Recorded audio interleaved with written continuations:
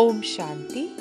आज है 20 मार्च 2021 मुरली का सार, मीठे बच्चे, तुम्हारा धंधा है मनुष्यों को सुजाग करना, रास्ता बताना। जितना तुम देही अभिमानी बनकर बाप का परिचय सुनाएँगे, उतना कल्याण होगा। प्रश्न, गरीब बच्चे अपनी किस विशेषता के आधार पर साहूकारों से आगे जाते हैं? उत्तर, गरीबों में दान पुण्य की बहुत श्रद्धा रहती है।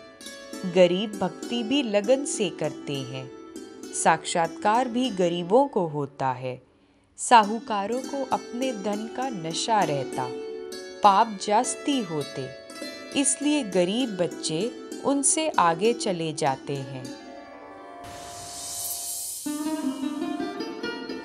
धारणा के लिए मुख्य सार पहला देह अभिमान में आकर किसी भी प्रकार का फ़ैशन नहीं करना है। जास्ती शौक नहीं रखने हैं। बहुत बहुत साधारण होकर चलना है। दूसरा, आपस में बहुत बहुत रूहानी स्नेह से चलना है। कभी भी लून पानी नहीं होना है। बाबा का सपूत बच्चा बनना है। अहंकार में कभी नहीं आना है।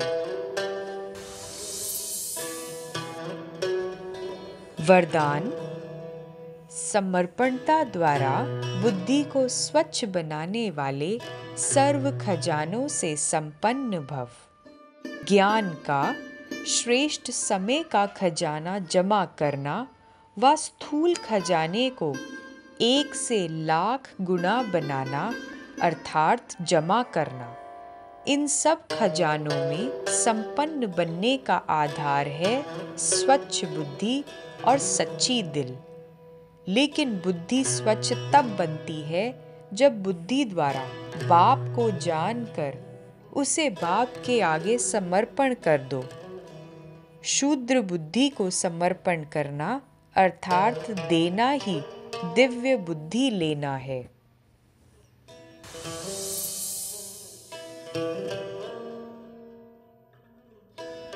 स्लोगन, एक बाप दूसरा न कोई इस विधि द्वारा सदा वृद्धि को प्राप्त करते रहो। ओम शांति।